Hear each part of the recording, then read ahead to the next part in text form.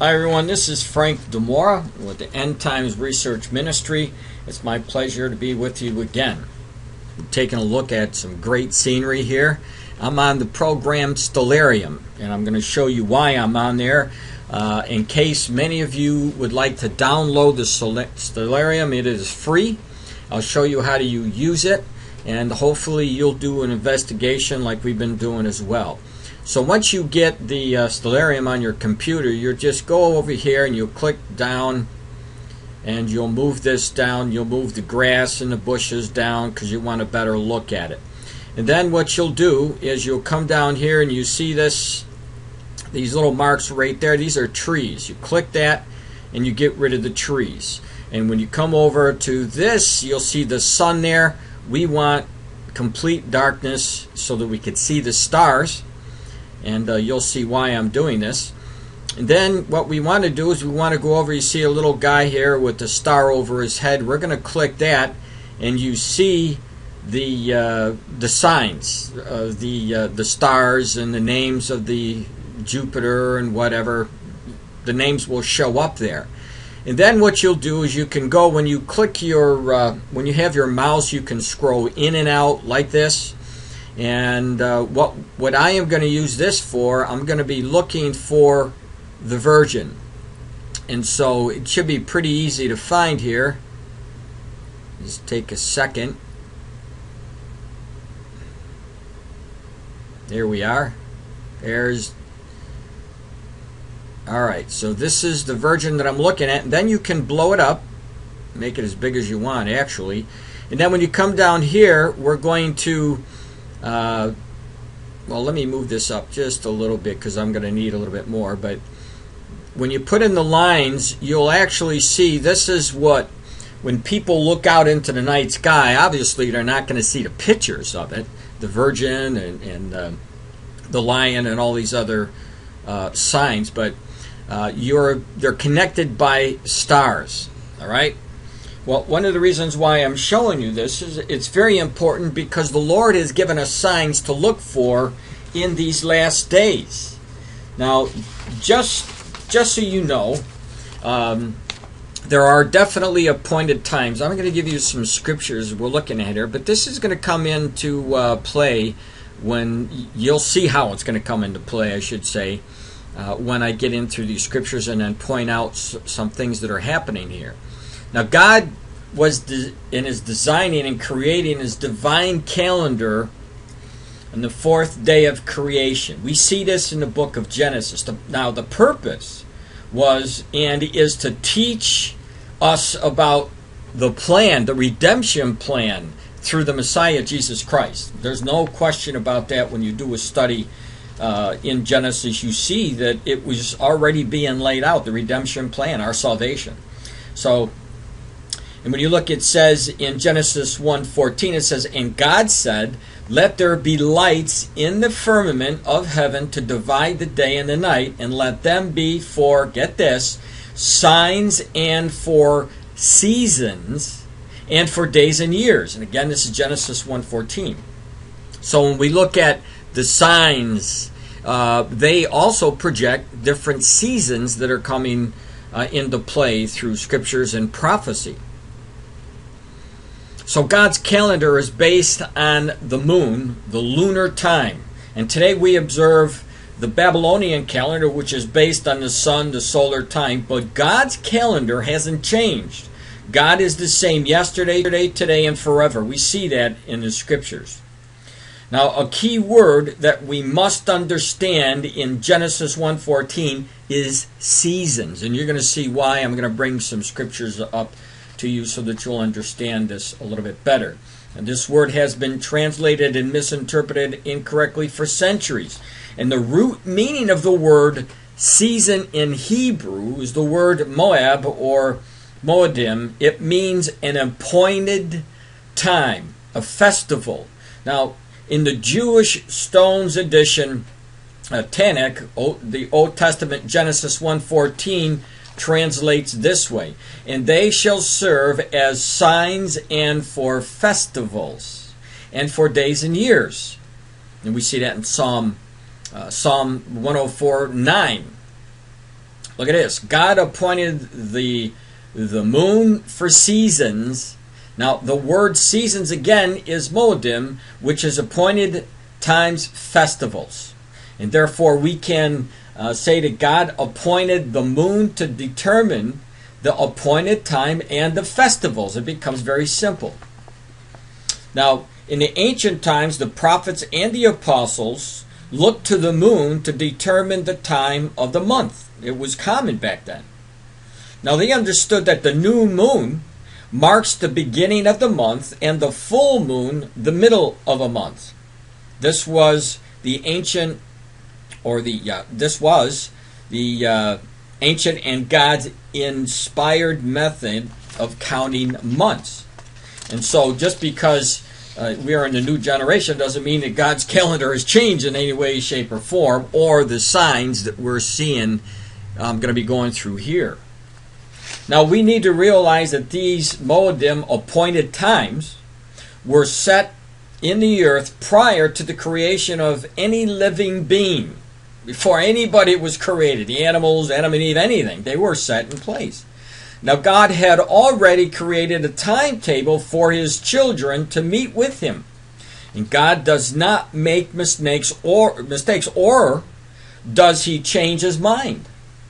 Now in the Amplified Bible in Genesis 1:14 it says this: Let them be the signs and tokens these lights of God's uh, provident care. Now, provident care points to a sign of God's covenant and these appointed times are signs of God's agreement with us that uh, that He is our God and we are His people.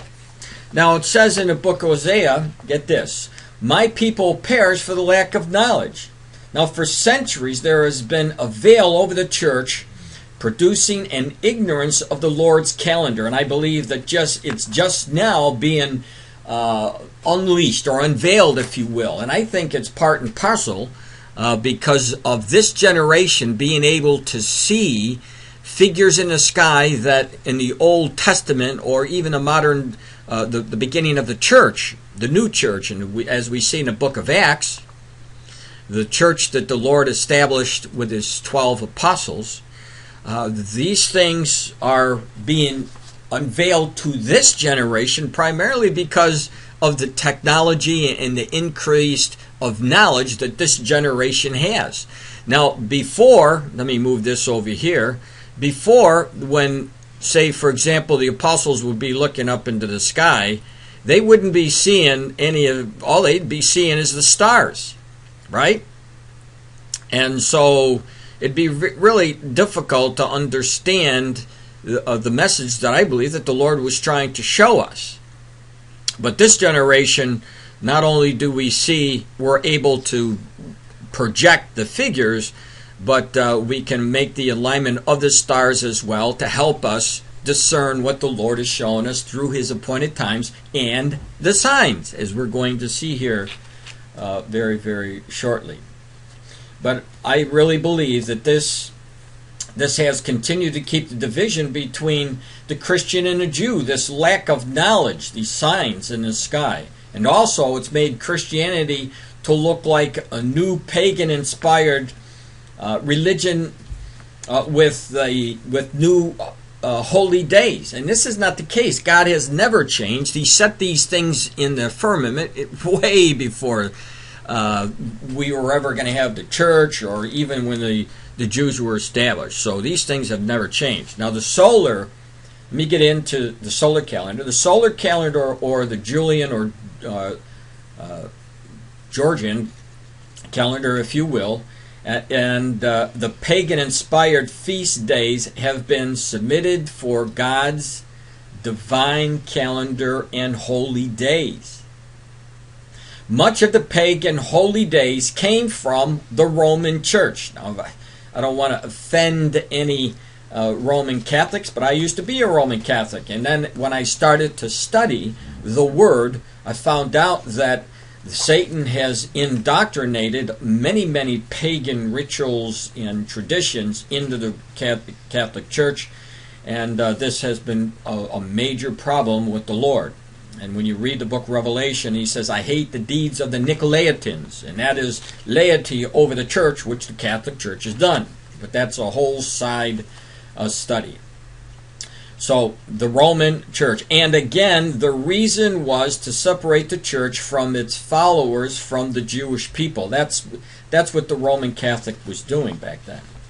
Now, as I mentioned in my in just previously, uh, in the fullness of times. I mean, in other words, we're going to see complete prophecies being fulfilled, I believe, in our generation. Fulfillment of all prophecy is going to take place, I believe, at least by all of the signs that the Lord has given us to watch. They're happening now, and we're moving towards that seven year tribulation period. So, it says in Acts 3:21, for example, the heavens have received the, the Messiah Yeshua and are retaining him until the times of complete restoration of all things that God spoke by the mouth of all the holy prophets from ages past. Now, one area that the Holy Spirit is trying to restore in the church is the festivals of the Lord. The Lord never meant to remove the festivals. Yes, we're the law uh, that gets into the law issue, but when you study the, the the scriptures, you'll find out that the Lord never intended us to just cancel out the festivals. We were supposed to honor these festivals. Now, in most Bible festivals is, or in most Bibles, festivals is translated as feasts. Now, let me quote this. And God spoke unto Moses, saying, Speak unto the children of Israel, and say unto them concerning the feast of the Lord, which you shall proclaim to be holy convocations, even these are my feasts. They're not men's feasts, they're not the Jewish feast, they're not just the Gentiles' feast, they're God's feasts. These things are supposed to be continually observed. Now, these are the feast of the Lord, even holy convocations, which you shall proclaim in their season. Read Leviticus 23, verses 1 and 2 and 4, what I just read to you.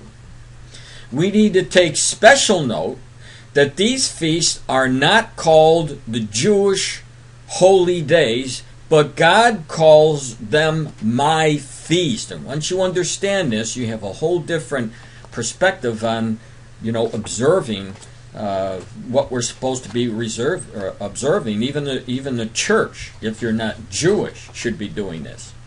Because they're the Lord's feast. The feast of the Lord. The word seasons, now let's get to that. The word seasons, again, is the Hebrew word, as I already mentioned, Moedim, which is the appointed times and the festivals. They are intended for all the followers of God of Abraham, Isaac, and Jacob, both the natural branches and those which have been grass, grafted in. And you'll see that in Romans uh, chapter 11.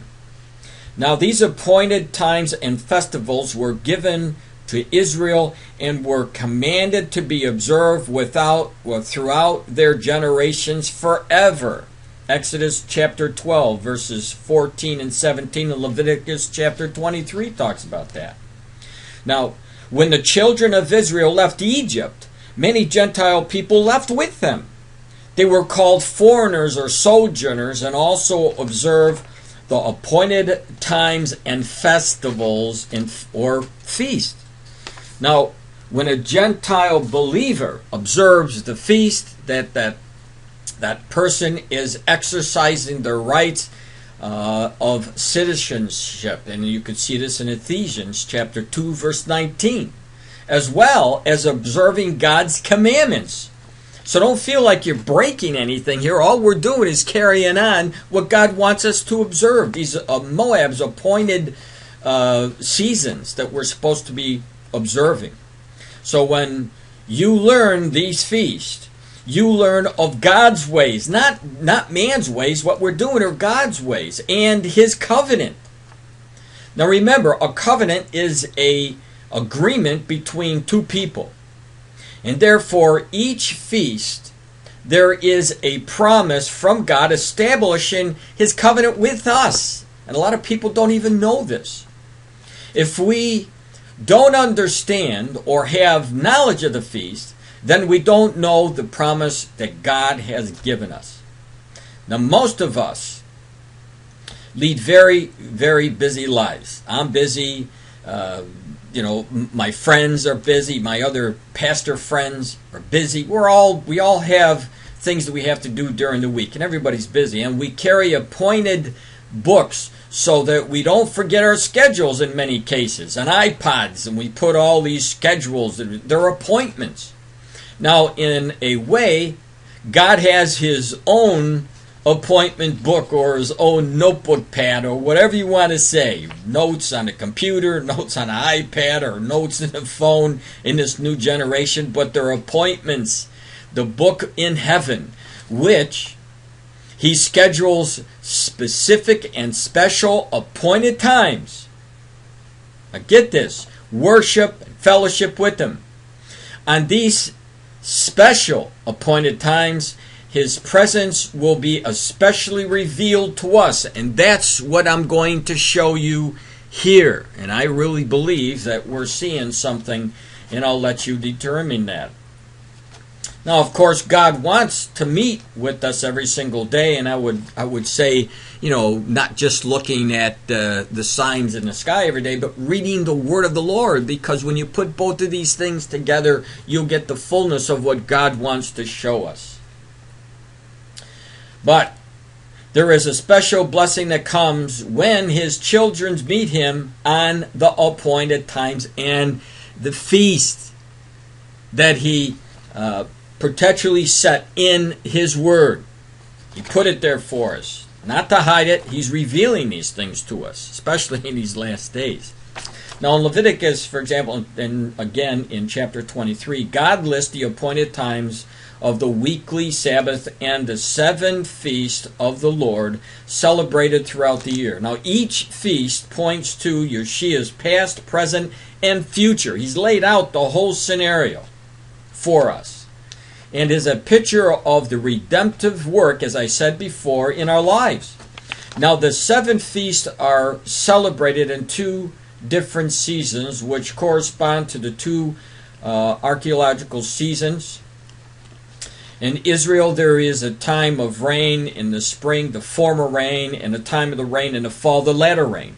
And this division relates to two appearances that Messiah is to make on the earth. And he shall come unto us as the rain, as the latter and former rain unto the earth. Read Isaiah uh, chapter 6, verse 3, which I just read to you there. So we have the first four festivals, these appointed times that the Lord told us to watch, they were completed by Jesus on his first coming. And there's three left that haven't been fulfilled yet. And uh, believe that the next one will be happening at the Feast of Trumpets. And this is where this comes into play because the Lord did show us something uh, concerning these last days. Now, the four spring festivals are the are the Passover, the Feast of Unleavened Bread, the Feast of the First Fruits, and the of course the last one out of those four was Pentecost, fifty days later, uh, when the Lord's Holy Spirit fell on the church and is dwelling in us now and anybody that accepts the Lord Jesus Christ. Now, the work of the Messiah, Yeshua, during his first coming is seen most clearly in these feasts as related to the former rain. Now, when we get in uh, to Matthew, for example, Matthew chapter 24, the disciples asked our Messiah, Jesus, Yeshua, what would be the sign? Again, because the Lord, remember, in Genesis, he said, I'm going to set signs for you. And they asked him about the signs. All right, they weren't ignorant of it. They wanted to know the signs, and the Lord was laying out what was going to be happening.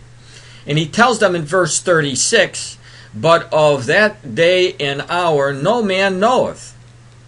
And you, this is a complete different study here because this was a Jewish idiom. And when you go into my website either at BibleProphecyMan.com or EndTimesResearchMinistry.com, uh, you'll see the thief in the night. When you click on that, you'll see a complete write up about the thief in the night, about the traditions and this statement that the Lord made about not know, nobody knows the day or the hour. Uh, but you'll understand there's a whole different meaning with with the Jewish idiom there that the, the Lord was just saying to him, and this is just very quickly, the Lord was saying to him, My Father knows because during the customs of the Jewish religion and the Jewish uh, people, the Father was preparing everything. So when Jesus said, Nobody knows, you know, only my Father, he was signifying not that he doesn't know any of these things, uh, but it was the Father who was preparing everything uh, for the wedding or the feast of the trumpets, if you will, as you're going to see here in a second, that we're going to be talking about this woman. So in Deuteronomy chapter 29, verse 29, it says this The secret things belong to our Lord our God, but those things which are revealed belong to us and to our children forever. Those people who accept Christ as their Savior, uh, we understand the unveiling is brought to us, the darkness or the scales on our eyes are removed, and we see the things that the Lord is trying to show us, including His appointed times and the signs in the sky or in the heavens. Now, let me give you another example of this. Paul the apostle wrote in 1 Thessalonians chapter 5 verse 1 concerning the signs if you will but listen to what he says but of the times and the seasons remember the festivals the appointed times Brethren, you have no need that I write to you. Why was that? It's because he was speaking to the Jewish people. They understood about the signs uh, and the appointed times and these festivals that the Lord told the Jews to observe, right? So the Gentile believers in the first century were attending in the synagogues, they observed the Sabbath and the feast, therefore knowing their prophetic significance. Yet, today's church is really ignorant of most of what I'm saying here today. And when you mention anything about signs in the sky, a lot of people will even say to you, well, you're getting off into the false doctrine. Well, I'm showing you scriptures right there in Genesis where the Lord had revealed it to us. All right, now, let's again go in and I want to show you the scripture in Revelation. Now we're going to get into this in Revelation again. And this is chapter 12, starting with verse 1. And there appeared a great wonder in heaven, a woman clothed with the sun. So here's a woman, right? And the moon under her feet. Now, right now, the you don't see that here because I'm going to be putting up some other information for you so that you'll understand it and you can do this for yourself when you download it. So, going on, it says, And the moon under her feet, and upon her head a crown of 12 stars, right? So here's her head, where the stars, we're going to be talking about that. And she, being with child, carried travailing in birth and pain to be delivered. So this woman is going to be with child, right? Now keep in mind, this is in the book of Revelation, so it's things to come, signs, the appointed seasons that these things are going to take place. Now, in verse 3, it says this And there appeared another wonder in heaven, and behold, a great red dragon, having the seven heads and ten horns, and seven crowns upon his heads. Now, we know that the dragon is who? Satan, right? So, we know that during this time, and this is when Satan will appear, and as you see in verse 4, as I'm going to read it, and his tail drew a third part of the stars of heaven and did cast them to earth. And the dragon stood before the woman which was ready to be delivered for to devour her child as soon as it was born. And so this is at the period now, three and a half year into the seven year tribulation, where Satan is cast out to the earth. He incarnates himself into the Antichrist, and you actually have Satan in the form of a man, Antichrist, walking around this earth.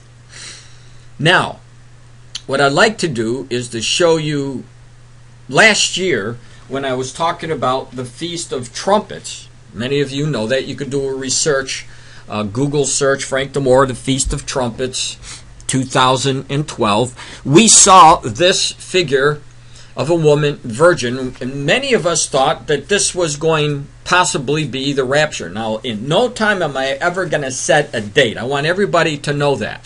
But one of the things that I want to encourage everybody is because the Lord did talk about the signs in the seasons. These are appointed times, and He wanted, we were supposed to observe and keep on a watch that whenever we see anything that simulates very, very, very close to what the Lord had shown us in His scriptures, that's when you should be paying a lot of attention.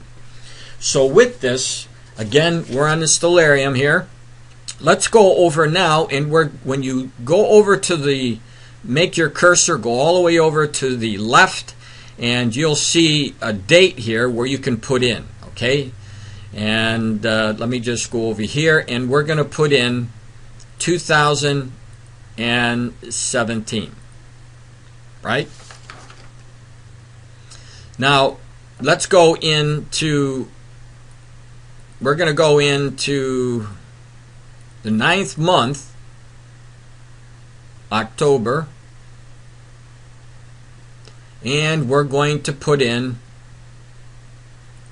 let's go over to the, the 23rd, if you will. Now, you notice that when you did that, because we're in 2017, things moved around. So now what you can do is you can just you just play with that. You see the woman here right there. Well, you can bring her into play. Sometimes you got to just make it the right. There you go. So there it is right there. So here's the woman. And if you, you want to just get it like this out of the way so you can see the. And then what you can also do is uh, make it bigger or smaller. But for this purpose, let's just take it here because I wanted to show you this. Now, in this this particular time here, and you'll notice that the Feast of Trumpets, by the way, during this 2017 year is very close. One day, uh, the feast is on a two day period there. The Feast of Trumpets, I believe it's on the 22nd and the 23rd. Very, very close, right on the mark. All right? So at this time, what we see here is this. Now, last year, what we didn't see, uh, and many, as I said, they thought that this was going to be the, the rapture of the church or possibility of it. Of course, uh, at least in my ministry, I never gave a date. I just said, let's observe, let's watch, just in case. We want to be ready. All right? You don't want to be caught as a thief in the night, as the Lord uh, is showing Paul the Apostle. So now what we have here is, let me back this up a little bit we're going to go, as you can see where the sun is right here. We're going to move it away from the Feast of Trumpets and we'll stop right there. So uh, there we have, let's, now I'm going to play it again and watch the sun. And as we get closer to the Feast of Trumpets, well, let's go back the other way, sorry and 17 to 18. Look at the sun, how the sun's moving down here, and it's going towards the shoulder. There's right there on the 23rd. So we have now, take a look at this. We have the sun clothing the woman. Now, again, look at Revelation chapter 12. There appeared a great wonder in heaven, a woman with the sun, with the sun and the moon under her feet. Well, there's the sun and where's the moon? It's right under her foot. Same time around the Feast of Trumpets. All right? Now, what's interesting is you have Jupiter here that when you make the alignment, now if you move it out away from the Feast of Trumpets, you'll see that Jupiter also moves, and it's not in that, it'll won't be in that womb area anymore. But when you get into the Feast of Trumpets dates, all right, you now have the woman in the womb. Now, just let me show you this. When somebody looked at the picture, say, well, the Jupiter is out here, the womb is over here. But let's take away, if you will, let's take away what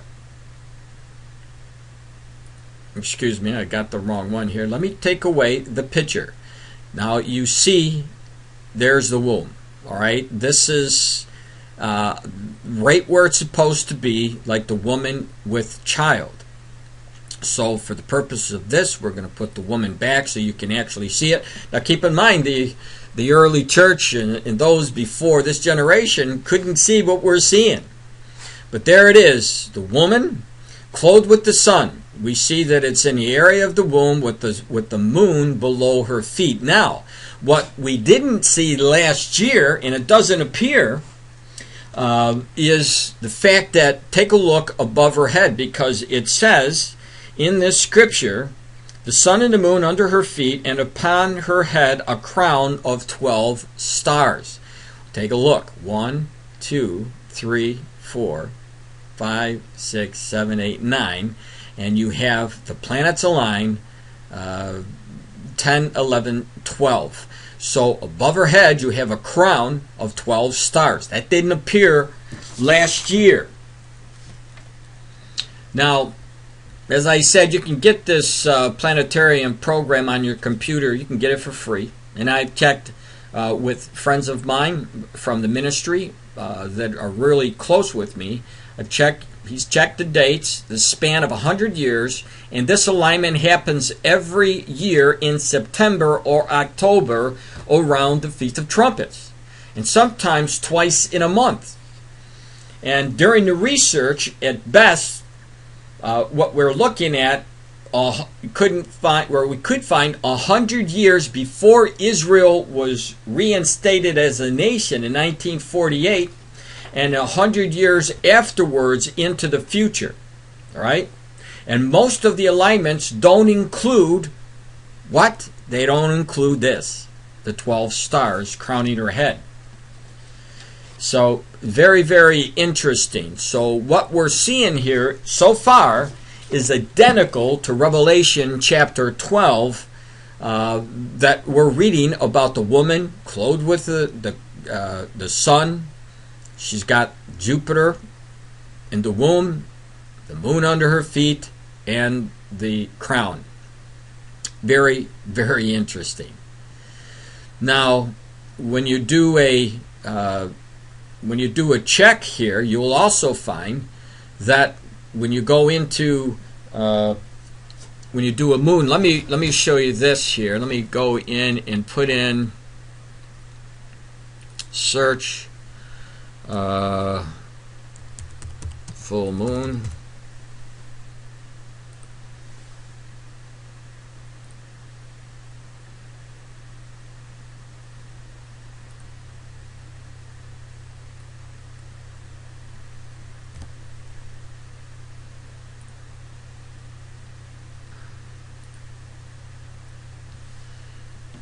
Well, I don't. Uh, something. I'm not doing something right here. Of course, I'm just learning like everybody else about this. But there is a. Uh, let me go into. Let me get out of this. And I'm going to go into another one of the things that I did with a Christian friend of mine the other day. Let me get into that. And I'll show you that not only is all of this in the right spot, but also there is a new moon that will be showing up during this time. And so, based on uh, the Jewish, the ways the Jews look at everything with the with the new moon, this is when the Feast of Trumpets will be going out. So let me get out of here for a second. Okay, this is this is what I wanted you to see.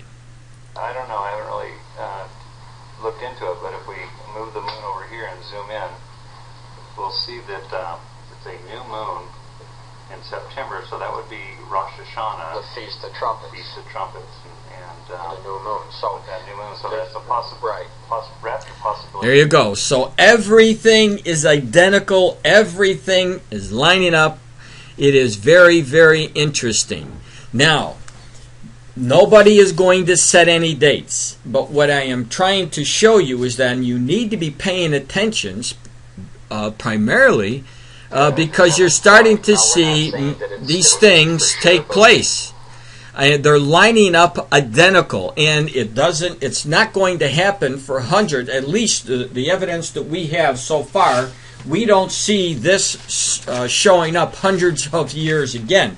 Now, why am I saying this? Because the Lord told us in Matthew chapter 24 that this generation will not pass till all these things take place. So, if they didn't appear for another hundred years, just a hundred years, let's go that far, that would mean that the generation who is now alive, the generation that sees all these signs, would not be alive anymore, all of them, and then it would the prophecy couldn't be fulfilled. So we know that it's very, very near. Is it going to be 2017 where Satan is cast out of heaven as we see here?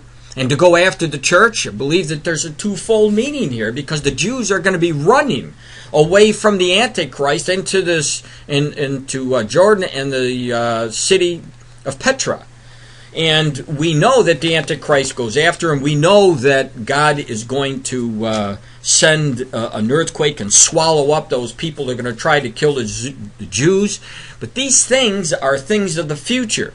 Now, if Satan is cast out in the middle of the seven year tribulation, and we see that this taking place with everything running identical, and this is about Rosh Hashanah of 2017, go backwards three and a half years and you end up in a 2013.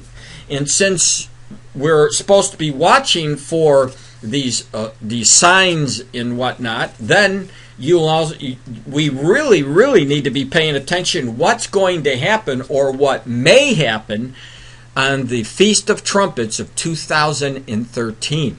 That's all I'm saying. I don't want to give any dates and say, yeah, we're going to get raptured out of here. What I am saying is, please don't discount the possibility that this could be that appointed time, that appointed season that God has shown and ordained as we see in the book of Genesis.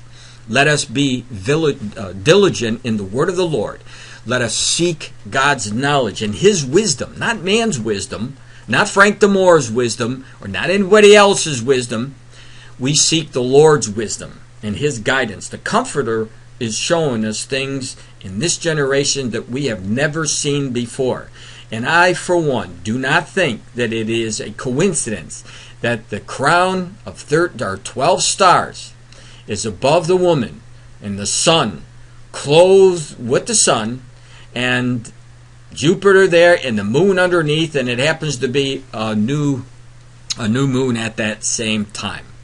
So, with this, let me just say this. If any of you want to add what I've been saying, or if you have other information uh, that you want to share with me that I can put up and share with everybody, we're all looking for the truth that those that love the Lord Jesus Christ.